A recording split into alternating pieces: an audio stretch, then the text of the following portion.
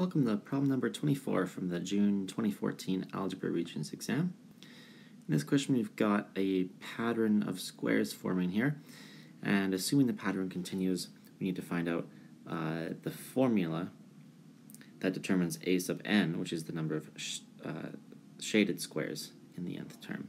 So it'll help to create a table of values here. Um, on the left hand side we'll have the term number, so 1, 2, 3 and then the right one will be the number of uh, shaded squares. So let's count here. The first term starts off with 1, 2, 3, 4, 5, 6, 7, 8, 9, 10, 11, 12. The second one looks like it's the same pattern that we can see here plus 4 more, so that would be 16. And then again, it increases by 4 more, so 20. We can see that uh, the number of shaded squares is increasing by 4 each time. And that's why the co we're looking for a coefficient of 4. And that's actually in all four of these possible answers, so that makes sense. Now to find the coefficient, what we can do is pick one of these combinations. Let's pick the 216.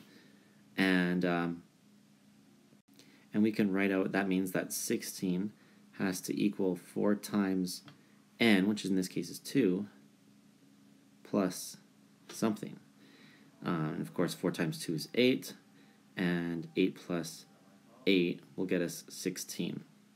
So we can see that the correct answer um, would be a sub n equals 4n plus 8, which is option number 2.